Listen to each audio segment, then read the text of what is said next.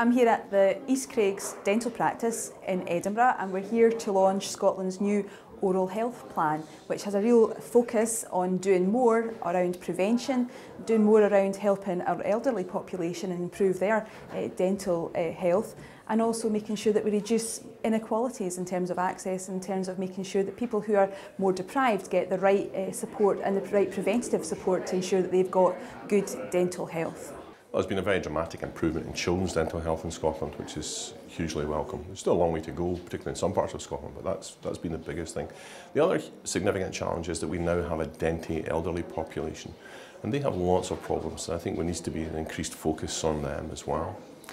And the other uh, more, more recent thing perhaps is the uh, revised guidelines on treatment of periodontal gum, that's gum disease, and uh, we need to find a way to implement those uh, in Scotland so that more patients get more preventive advice and more preventive treatment to avoid moving on to dentures and other more complicated uh, restorative stuff.